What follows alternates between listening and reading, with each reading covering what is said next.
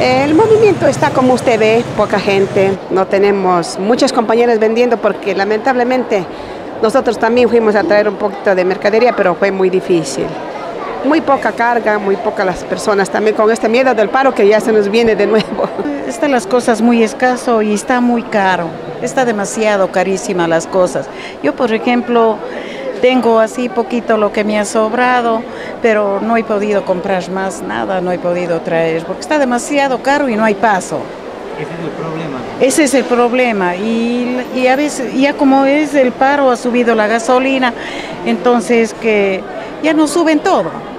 Por ejemplo, un saco de habas que, cobraba, que comprábamos en 10 dólares, hoy cuesta 20 dólares. El movimiento está un poco bajo.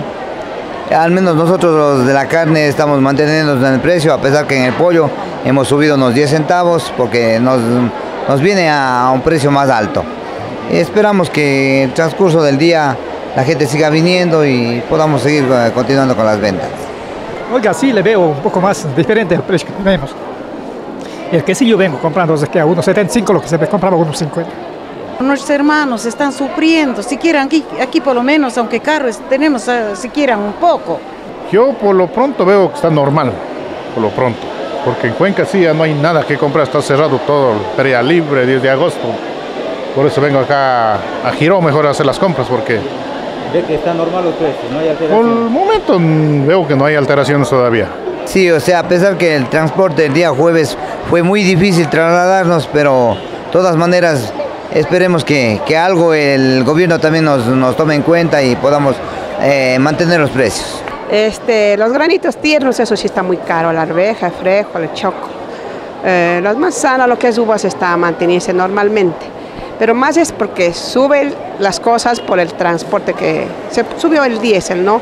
Entonces a raíz de eso sube las cosas. Póngase el, eh, la gasolina ha subido, el diésel ha subido, pero esperemos que, que la situación vaya un poco mejorando y podremos mantenernos. Para nosotros como carniceros y como servidores del- de los pueblos queremos mantener los precios. Este, sí, en verdad este, ha subido un poco los precios, lo que nosotros comprábamos, eh, póngase en caso de los nabos, se ha duplicado porque estaba a 25, ahora está a 50. En algunos productos sí están cobrando el doble. Sí, entonces vamos a ver qué pasa esta semana. Esperemos a que haya algún arreglo, este, porque si sigue así, entonces no, tenemos que subir todas las cosas. Nosotros salimos a Cuenca ayer a la, de abajo a la una de la mañana. Y más ahora el transporte que nos cobran el doble por que subió el, el diésel, sí, exactamente, por eso. Algunos productos se mantienen el precio, pero Sí, eh, por ejemplo la cebolla, el tomatito está normal, lo que sí están caros los granitos tiernos, y eso está demasiado caro y ni siquiera ahí, lo poco que avanzamos a conseguir. www.achiras.net.es, el portal de Girón.